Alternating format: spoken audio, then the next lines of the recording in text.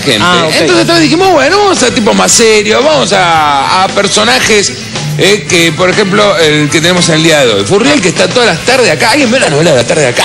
Eh, Pornográfica casi. Terrible, ¿no? Sí. Está la, la, la- la chica esta. que- Isabel Macedo. De ella Isabel ibas a hablar. de ¿no? Isabel Macedo, que sale con el padre. ¿Qué pasó? ¿Te acordaste de la foto, no? Me acordé de la foto. Te acordaste de la foto, bueno, ya va a pasar, no te das problema. No, que sale con el padre, que sale con el hijo, que, que- eh, está todo el mundo rozándose en esa novela de la tarde. Hablan de cualquier cosa y están, ¿te parece? No, no, vos no sabés para lo que la foto. No sabés Mi lo que mujer la ve. No te puedo explicar. ¿Y qué, qué me cuente, me cuente Joaquín Furriel. Y pues vos atrás no hay nadie. Pero parece todo agarra con el. Joaquín te pones vos. Así. en el CQT es primero del año. No, no es una cosa. Los famosos se enfrentaron a preguntas de ingenio y actualidad. Este año te vamos a mostrar todo lo que saben de cultura general. Van a demostrar si son un bocho o un bochón. Las reglas son muy simples. Sin cinco preguntas de diversas categorías. 300 segundos para responder. Si la respuesta es exacta, frena el tiempo.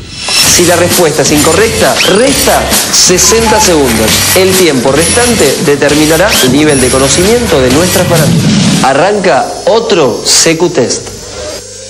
Te escucho respirar, te, estás nervioso. Estoy concentrado. Igual no me tengo que esforzar mucho, porque al ser el primero ya gané. Por lo menos una No, semana claro, durante una semana vas a estar en el puesto Por eso número acepté- uno. por eso acepté. Estoy tratando de desestabilizarte para que arranque, pero para eso hacemos un pequeño pimponcito, que es como para eh, que vos te relajes, pero no sumas. Vas a pedir un helado, gustos. No, limón y dulce de leche granizado. Vamos a. Limón y dulce de leche granizado. En porcentajes, antes de la tele y después de la tele, ¿cuánto más la pusiste? Perdón. Yo me la banco antes también, no es que necesite la tele. No, no, no, pero... Es un buen título ese, no necesité la tele para una vos mujer. tenías ojos claros antes de la tele. A mí se me pusieron claros desde que trabajo en televisión. Eso seguro. Vamos a arrancar ahora con el juego, con la seriedad. Va a haber una suerte de ruleta de opciones y en un momento se detiene y es la pregunta que te corresponde, ¿ok? Dale. Vamos a mirar, fíjate, en este momento está empezando a girar, está pasando. Ahí freno. Historia. Pregunta número uno. Uno. El 25 de mayo, ¿de qué año se declaró la independencia? 1811. 1811. ¿Esa es tu respuesta? Sí. La respuesta es incorrecta. La independencia fue declarada el 9 de julio. Julio razón. Sí, ¿Está la revolución de mayo es otra cosa. Fue capcioso igual, debo reconocer que No, tuvo sí, maldad. No, no, no, pero yo en eso soy muy gauchito, entro en todas.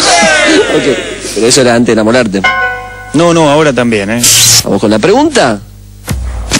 Empieza a girar, vamos a ver qué te toca. Ahí, ahí están pasando, ¿eh? Farándula. También es bastante amplio. ¿Con qué nombre se conoce popularmente a Clotilde Acosta? Opciones. Es una señora mayor. Parece joven, pero no lo es. Clotilde Acosta. La carita parece de cera. Yo trabajé con ella, seguro.